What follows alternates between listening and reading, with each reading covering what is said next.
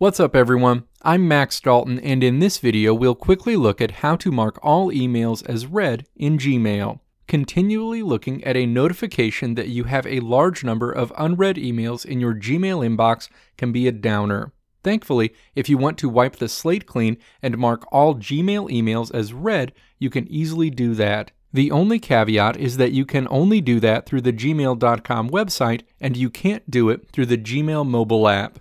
Now let's walk through the steps to mark all emails as read in Gmail. Step 1. Open a web browser and navigate to gmail.com to access your Gmail account. Step 2. Click to place a checkmark in the selection box above your Gmail message list to select all of the messages you can see, and then click to select all of the messages in your Gmail inbox.